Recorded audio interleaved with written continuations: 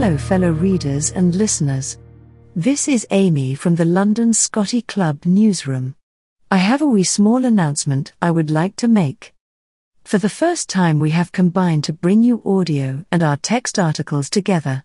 From now on, you will be able to listen to our articles as podcasts as well as read them on the website. The idea was first introduced in 2016 and we called it Blog on the Go.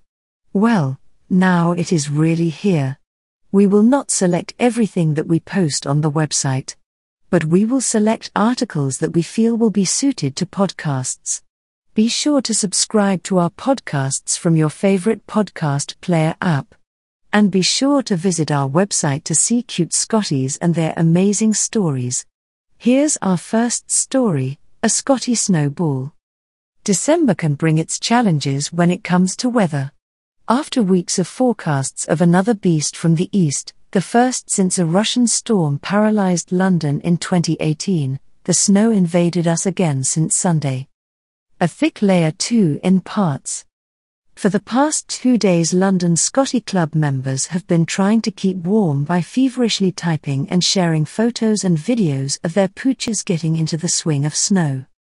Hampstead Heath, for example, resembled more the Cairngorms than anything a mild winter would muster. Scotties descend from the Scottish Highlands and are very adept in the snow.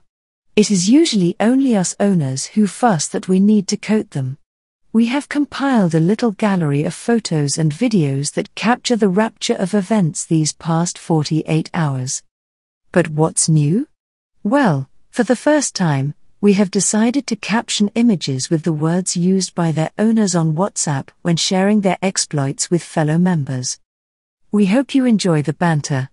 And if you are not a member, perhaps now you will see what you are missing. Join us today.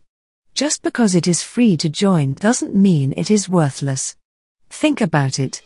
Join hundreds of VIP Scotties with us already.